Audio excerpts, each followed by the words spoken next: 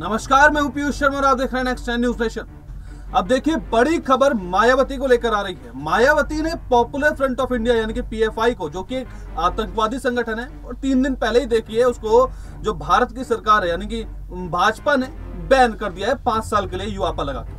अब देखिए, जब अगर बैन करा है तो ज़रूर देखिए उसके ऊपर, यानी कि पीएफआई के खिलाफ सबूत होंगे एनआईए के पास, जिसको हाईकोर्ट में उन्होंने पेश भी कराया उसके बाद ही देखिए बैन लगाया गया है। अब मायावती, जो कि मुस्लिम तुष्टिकरण की राजनीति करते आई है, जो पूरे समाज में जातिवाद फैलाते हुए ऐसा भाजपा कहती है तो उन्होंने देखिए, अब भाजपा पर इसको लेकर पीएफआई को लेकर तंज कसा है। क्या बोला है? उन्होंने ट्विटर के ज़रिए। हालाँकि देखिए राजनीति में इतनी एक्टिव नहीं है मायावती, और देखिए, अपने आप को प्रधानमंत्री भी बोल चुकी है, यानी कि इनडायरेक्टली उन्होंने बोला कि अगर विपक्ष चाहता है तो मैं प्रधानमंत्री बनने के लिए तैयार हूँ। एक तरह ये बोलते लेकिन उससे यूपी में दो सीट नहीं ले जाती। तो अब मायावती ने क्या बोला है कि पीएफआई को अगर बैन किया है तो आरएसएस और वीएचपी जैसी संस्थाओं को भी बैन करना चाहिए, ये उन्होंने बोला है। मुझे समझ नहीं आ रहा कि मायावती ऐसा कैसे बोल सकते हैं, क्योंकि पीएफआई के खिलाफ इतने सारे सबूत मिले हैं। पीएफआई के जो कार्यकर्ता है, कार्यकर्ता क्या देखिए पीएफआई के जो आतंकवादी है, उन्होंने काफ़ी हिंदुओं को मारा है केरला में, कर्नाटका में, राजस्थान में, दिल्ली में।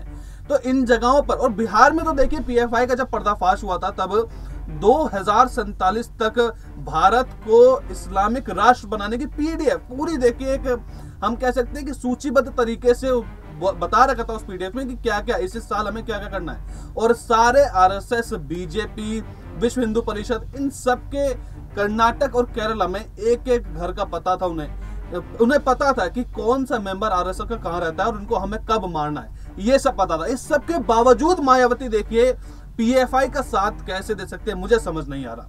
क्योंकि मायावती की बात करें तो देखिए, मायावती ने मुस्लिम तुष्टिकरण बहुत करा है।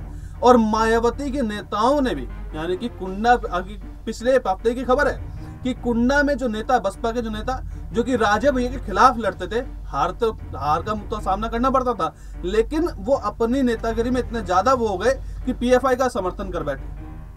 तो इसलिए मुझे समझ नहीं आ रहा कि मायावती को ऐसा पीएफआई में क्या दिखा कि वो उसका समर्थन कर बैठी लेकिन बहरहाल देखिए, मायावती को इस वक्त राजनीति में इतना एक्टिव नहीं देखा जा रहा है और यहाँ पे उनकी, जो कि देखिए सरासर साफ़ पता ही चल गया था रिज़ल्ट से कि एक सीट आई थी मात्र बसपा की, अकेले विधायक बने थे। तो इसलिए अब मायावती को पूरे रेस से, यानी कि राजनीति से ही देखे संन्यास लेते हुए देखे हम देख सकते हैं कभी भी, क्योंकि बिल्कुल भी एक्टिव नहीं है। देखना होगा कि यहाँ पे जो भाजपा है इस पर कैसे रिएक्ट करती है, जो कि मायावती ने बोला है। अगर ये वीडियो आपको अच्छी लगी तो इस वीडियो को लाइक कीजिए शेयर कीजिए हमारे चैनल सब्सक्राइब कीजिए। तब तक आप देखते रहिए नेक्स्ट न्यूज़ नेशन